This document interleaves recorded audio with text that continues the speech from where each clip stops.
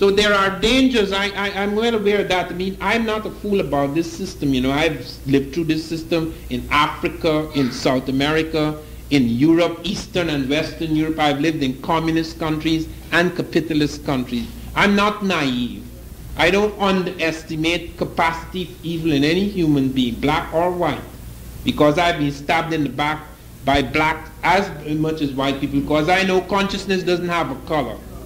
It goes right through the system, because we are all being affected by it in different degrees, okay? So that the point that you have to bear in mind is that there's a practical thing. It's not just a question of strategy. Strategy involves, as I learned, in subverting white consciousness as much as black consciousness. You can get into a system right, right before their face, and with all their intention in the world, you could go right through them. Because truth is a subversive weapon. It's like, it's like a secret atomic bomb. It blows your head open regardless of all your stratagems and strategies. And this is real. I'm not saying it as an idealistic thing. Yeah. Okay, Yes. Okay. Uh, you mentioned the uh, Moors uh, invading uh, Europe. Yes. Speak up, speak up. Go ahead. What, what was the reason uh, that the Africans did invade Europe did? What was, the, what was reason? expansionist policy, which is normal human policy. The, the thing that every people who control a large area extends and controls a large area until it's reached the point where it is very difficult now to expand. You can only act; you can't easily expand territory in the modern world. You can expand trade territory. We can't expand real territory easily. Okay? Because there isn't much territory you can expand in. Okay, but you can expand control territory. Like, like for example, the Americans can expand their control over Nicaragua, but they can't take the actual territory. Okay, so that's normal in the human being. The difference between the European type invasion and African type invasion is that wherever Africans have invaded, they have never taken away the culture or attempted to take away the language or culture of the people. The Moors did not destroy the culture of the Europeans, they enriched it. Whereas the Europeans came, like the conquistadors, and smashed everything they could find, burned all the books, they burnt Alexandria, they burnt the books in America, they burnt the Moorish libraries at Granada, etc. Okay. I understand that. I just want Yeah. to follow up on it. Yeah. The same question, just follow-up. Yes. Uh, I understand that, but just for like, I guess for the future, should we, should we look at that as being proper and okay to go into other people's territories uh, with the idea that we're not going to change their culture, or is that, in case people plan to do a similar thing on us, or to use that as an excuse to say that, oh, we go into this Okay, but bear in mind, as an answer to that, that the Romans had entered Africa. The Romans had already entered and interfered with Africa. Okay, I think that's important point. Yeah, okay. that's Yes, so that, that, yes. Okay, so that in a sense there's part retaliation there. Okay, thank. Yeah, okay. any more? Yes. All right. Yeah. Um, Did you say that the first black kingdom uh, was in the Middle East?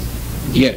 What we call the Middle East, they, they, we have found a monarchy, not just an ordinary kingdom, but a monarchy, which was found at a place called Ta-Seti. It's a place called Kustul, Q-U-S-T-U-L, Kustul in Nubia, which is in Ethiopia, and that is known as Ta-Seti. That is the first monarchy that we know of. Okay? It had 12 black kings reigned there before the first king reigned in Egypt, the first dynasty in Egypt. All right. Okay. um,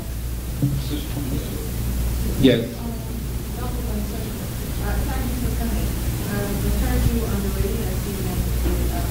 The Nova show, and I must say that uh, not just you, but Dr. Arnold, have been reached my mind. There are two uh, points I would like to comment on. One is, I heard that the office speakers were um, into the Sorbonne.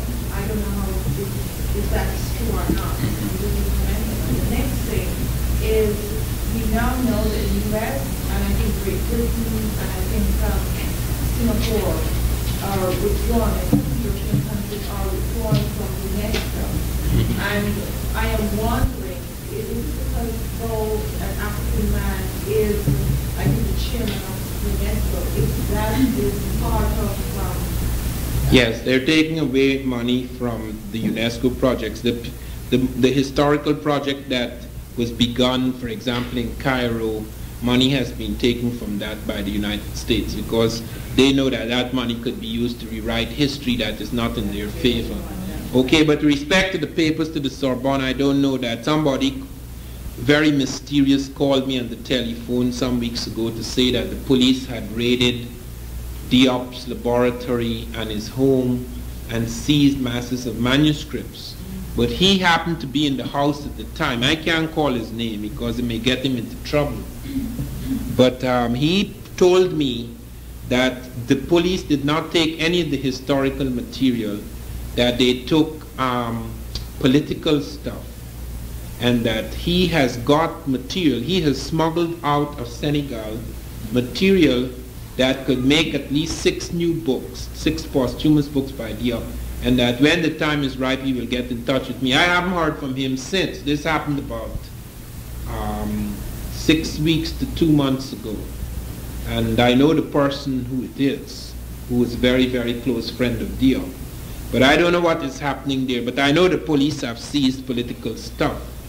But they haven't touched the historical stuff because they don't think that it really concerns them. Yes. Uh, uh, It appears that uh, these third world countries are in conflict with one another. Uh, Since World War II, there have been no given arguments between European countries, but they're not fighting one another.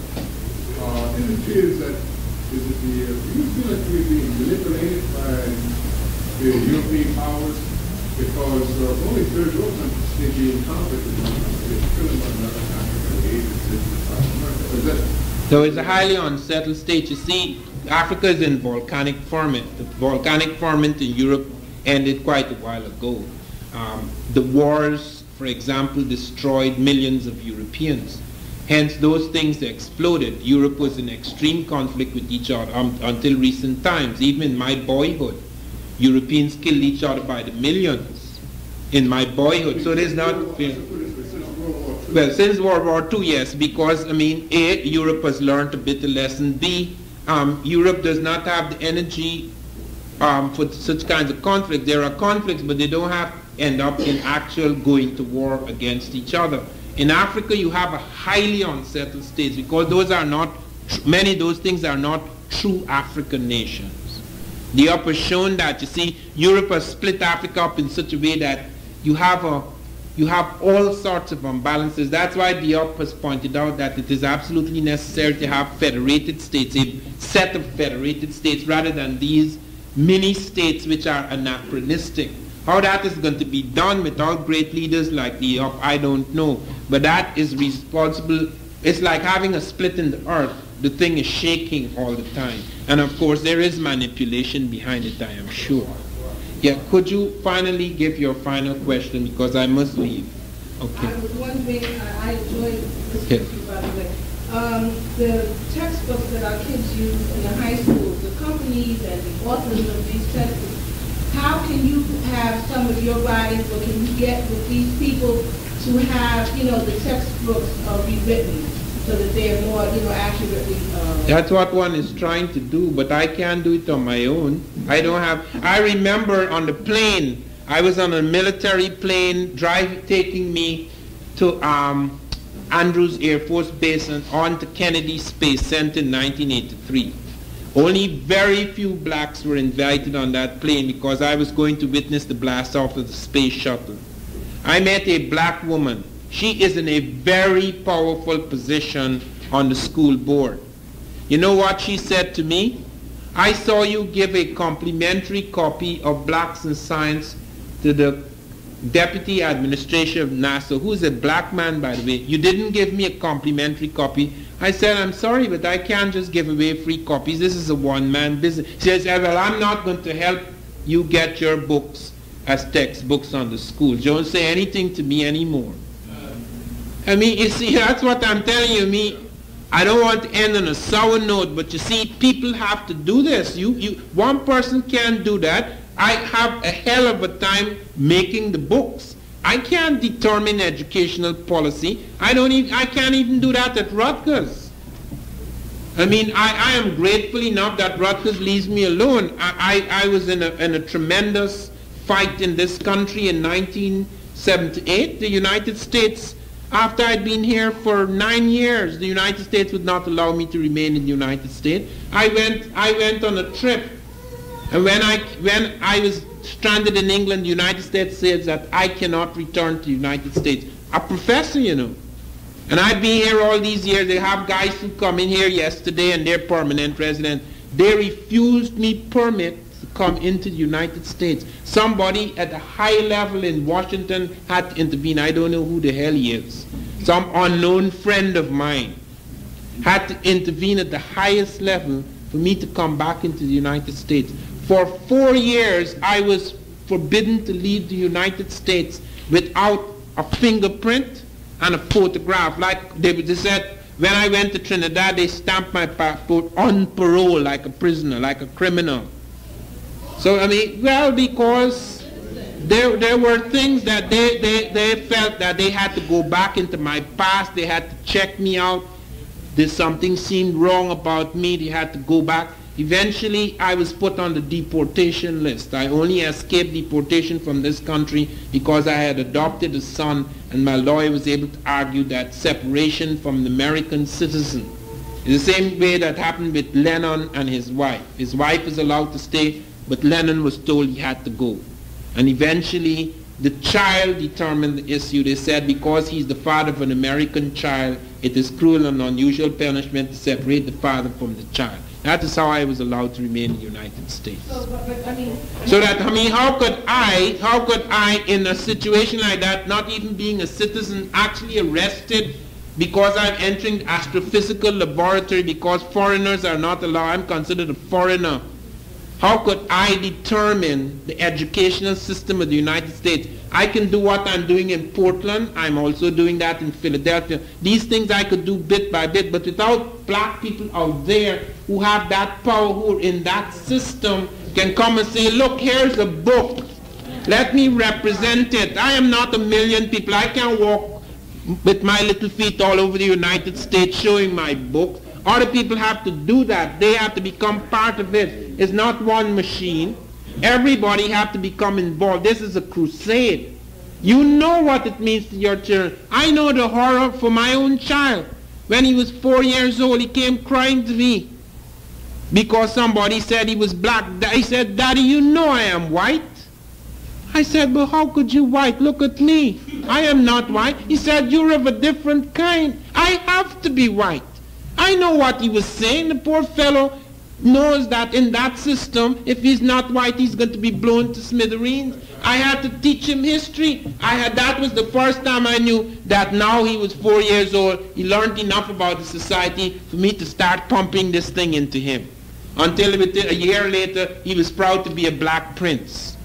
Okay, but if that is happening to your own children, you must be know what, what any monster out there is eating up our children. We have all be, to become involved in this crusade. Can't be left to the person who is putting out that knowledge. I'm drawing that from all over the world. That in itself is a duty and a task. I can't determine the educational system of this country. I can determine the new ideas, but that has to come from a body of people around us.